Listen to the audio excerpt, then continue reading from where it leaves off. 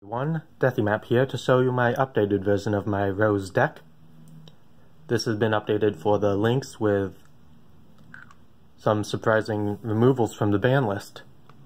However, I am missing one card that I will get to when I talk about it. Let's start with the extra deck first. We have links now such as Decode Talker, Gaia Saber the Lightning Shadow, Land for Nicus. I don't know how to pronounce it. Traffic Ghost. And those are my links. Now, I do want to add Aromatherapy Jasmine, which is a very powerful link monster, which can it can uh, protect any plants it points to, including itself, from being destroyed by battle, and contribute any monster it points to in order to summon a plant from the deck. It is a very powerful card, and I will add it when it comes to the west.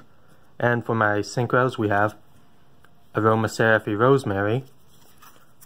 We're going to have two of them, but since I am missing Jasmine, we do have three in the deck right now. We have my Garden Rose Maiden. I'm going through these quickly because I don't really understand links too well so far. And I've already talked about the synchros at length in my previous video. A Splendid Rose. My Black Rose Dragon. Again, we have three here, but when I do add Jasmine, there will only be two. Since I believe the extra deck can be only limited to 15 cards. And finally, Black Rose Moonlight Dragon.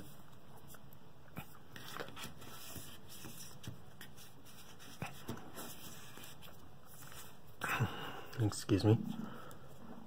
Yeah, we'll just leave it like that for now. And now for the main deck, which has quite a few changes. Starting off, we do still have Swords of Revealing Light. However, no more Scrap Iron Scarecrow. So I decided to pair it with Mirror Force as the anti-attack cards. But we only have two Mirror Force, no more Walled Thorns. Instead, we have Storming Mirror Force, and Drowning Mirror Force.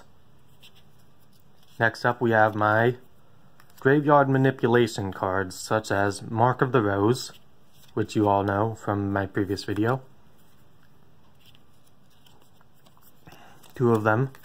Miracle Fertilizer. This time I only have one, and for a very, very important reason. Monster Reborn is no longer banned and is limited at one Miracle Fertilizer still is a very, very powerful card and integral to my deck. However, I decided to keep it at just one, and instead having Monster Reborn and Call of the Haunted. Two fairly standard monster retrieval from the graveyard cards. As well as Reinforcement of the Army, which I used to search the deck for either Twilight Rose Knight or Rose Archer. And, speaking of limited to one, we have one for one, which you can send one monster from your hand to the graveyard, special summon one level one monster from your hand or deck. This card is powerful, surprisingly, especially in regards to my Links and Aromatherapy Jasmine. I'll show you why in a bit. We have Twin Twisters for my Replacement for Mystical Space Typhoon, which you discard one card, then target up to two spells or traps on the field, destroy them. And Galaxy Cyclone, you can target one set spell or trap card on the field and destroy it. During your main phase, except the turn this card was sent to the graveyard, you can banish this card from your graveyard, then target one face-up spell trap card on the field, destroy it, you can only use this effect of Galaxy Cyclone once per turn. A very, very powerful anti-trap duo. Perfect for replacing Mystical Space Typhoon in my opinion. But we still have one Pollinosis. And we still have my two Rose Archers, which can be switched to with reinforcements of the army, since it is a warrior monster. This card can be dis discarded from your hand in order to negate a trap activation, but only if you have a plant type monster on your side of the field. And we have my tuners, Twilight Rose Knight. This time we have three of them, because it is a very powerful tuner in regards to my deck. We have Naturia Rosewhip still, and we have Glow Up Bulb, which is a one star monster that if it is in the graveyard, you can send the top card of your deck to the graveyard, and if you do, special summon this card.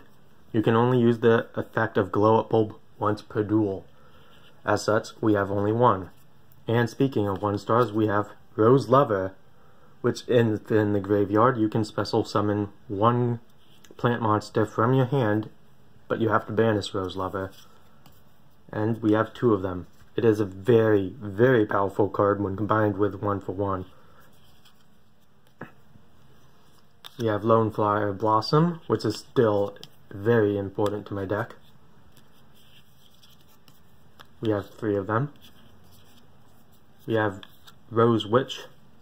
However, this time we only have two Rose Witch, simply because I wanted to replace one of the Rose Witches with a botanical lion. So we do have four, sorry, three botanical lions, making that five four-star monsters perfect for Black Rose Moonlight Dragon or Black Rose Dragon. Next we have the Fallen Angel of Roses, both of them, and of course we do have the princesses, Cherubime Titanial, Marina, and of course, Talia. Now that is the updates to my Rose deck, built to Link